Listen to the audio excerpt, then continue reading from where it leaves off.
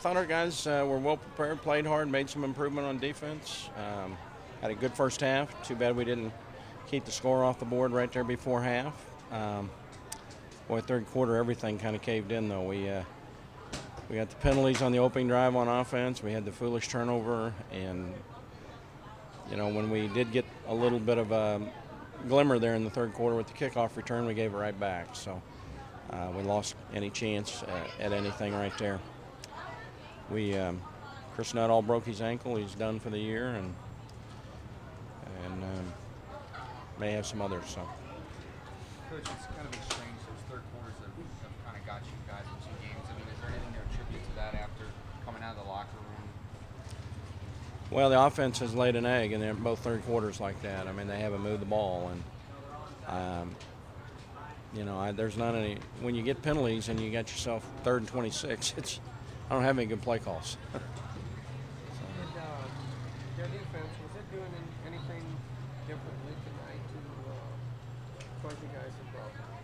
I don't think so. I don't know what you mean by differently, but differently from last week or we'd seen on film. Well, yeah, in, in the past two weeks, they've given up. No, I, no, points, so I was just wondering, I don't think so. Were they doing things to hurt uh, Jones's concentration or his looks downfield? Or I think they covered well. They got some coverage sacks. Our receivers had a hard time getting open. were they doing anything differently with their coverage? Not that I could tell. Coach Jones is always so great with those, you know, sort of the play, the playground kind of play. But do you s- think sometimes he tries to do a little too much in, in some in some situations? Yeah, I think so. I mean, you know, when those plays happen, or um, sometimes they're no, no, no, yes, yes, yes, or yes, yes, yes, no, no, no, and um, you know that was just an unfortunate play. We've had two inadvertent whistles this year. That same thing, we picked up and ran in for a touchdown, got an inadvertent whistle. We said we're supposed to get the ball.